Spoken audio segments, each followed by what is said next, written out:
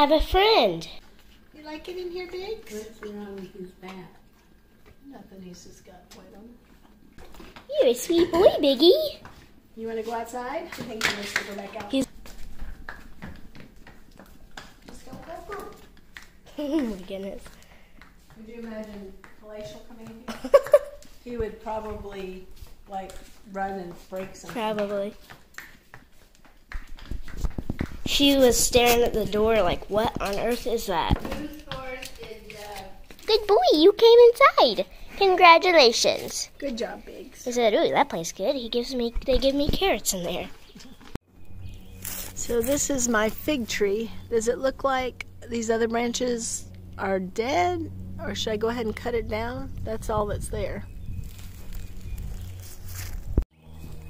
This is my other fig tree. I, I kind of had it um, mulched up around it for the winter and I never did really unbury it, so we'll see.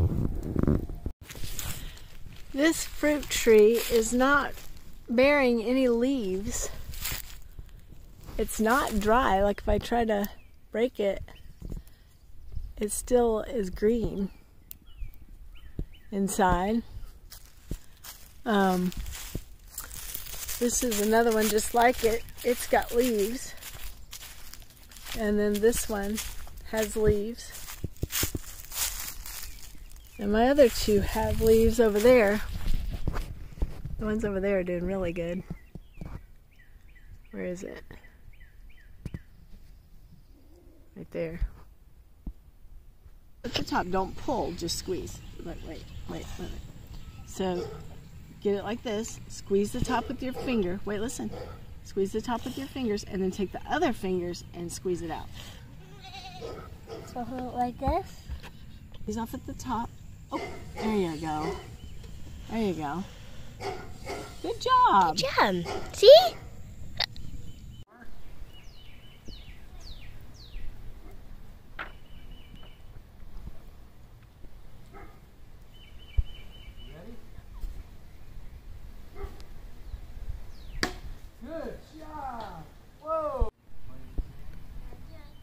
Poppy and Ryland are playing in the sand.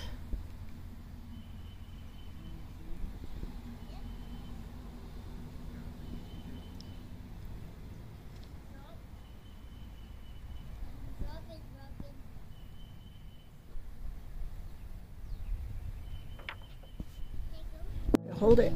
Make sure you can see the cage and us. Yeah, hold it real careful. Don't hit it. It's already on. There you go. Just make sure you stay like that. And you might have to move it a little bit and move it like that, okay? As we move. Make sure you can see it like that.